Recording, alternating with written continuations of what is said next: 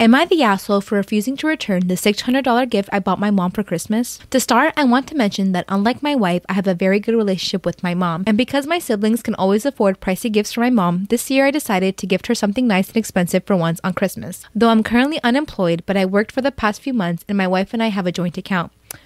I already know this is gonna go down. You taking money from the joint account to buy your mom a gift that you cannot afford.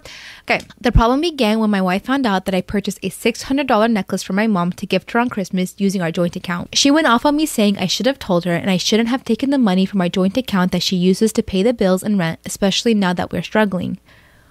Dumbass, like what? I asked why should I tell her since it's for both of us, but she reminded me that despite that being true, one, I no longer work, and two, 600 is a lot and I should have consulted her. But the reasons I didn't are one, I feel that it's my money too and I can make purchases using our joint account, and two, I know if I told my wife, she refused to let me buy the gift solely because